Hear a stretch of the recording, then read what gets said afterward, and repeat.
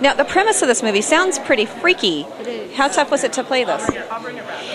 It was uh, it was really tough. I mean, it, you know, it, it, it, it was it was more exhausting because um, the scenes are so physical and intense. You know, sh- my character's being beaten up, you know, every day. So uh, yeah, it was it was tiring.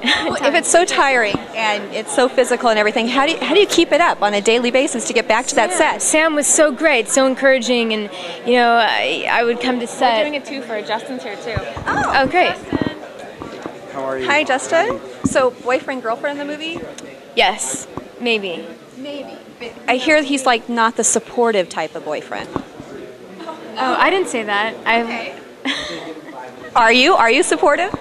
And, yeah, I think When so. things start to go weird, Oh, I see. I it, it um there's there's well it's hard. She's going through so much stuff. She she she's you know really kind of falling apart. But I yeah I, Yeah. I you, you got to watch the movie. That's the big twist in the end. Is that Alison was just mentioning keeping up a level of tension on the set, and that a lot of it has to do with Sam Raimi. So, tell me what it's actually like being on a Sam Raimi set.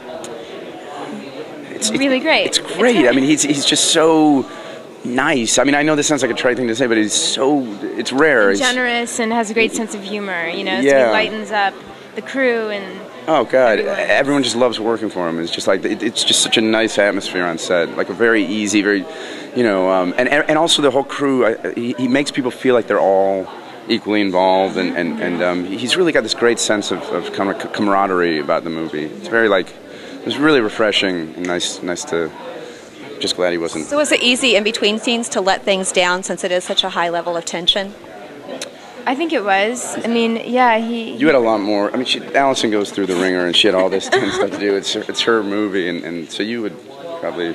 Um, I think I think it just comes back to Sam. You know, he's like he's he's he just has this great way, this great way on set, and um, makes you feel really comfortable and confident.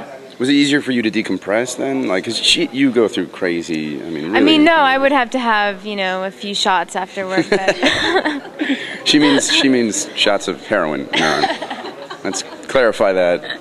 You should not start these rumors.